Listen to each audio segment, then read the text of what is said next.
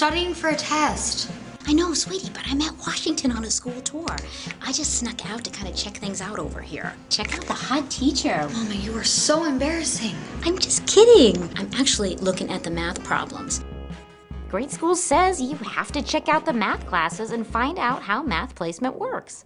Parents need to know how middle schools track students in math. Getting to college level math is like climbing a mountain. You gotta climb the bottom before you can get to the top. It all starts in middle school. If you take the right classes in middle school, you're on track going into high school, and you have options.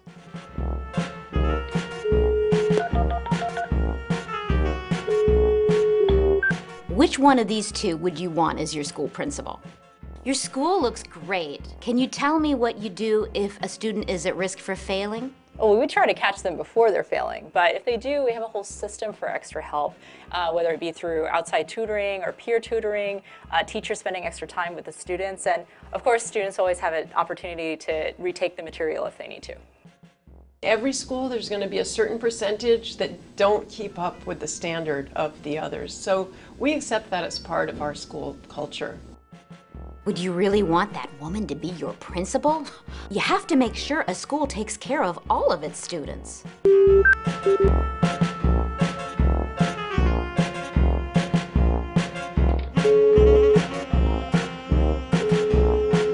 You know that corner store that's near both schools? I went there today to see if the clerk had the scoop on the students. The first group from the good school, they come, they are very dis- disciplined, very polite, very respectful. They come and pay and go. The other group, they are really dressed differently, they are loud and rowdy and disrespectful. They don't feel I am here. Experts say you have to find out about the school culture. This guy sees the kids every day. He would know what they're like, right?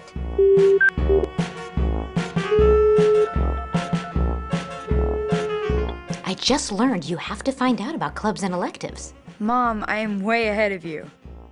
Certain electives that we have are photography, orchestra, sports, music, art, band, PE, home ec, book club.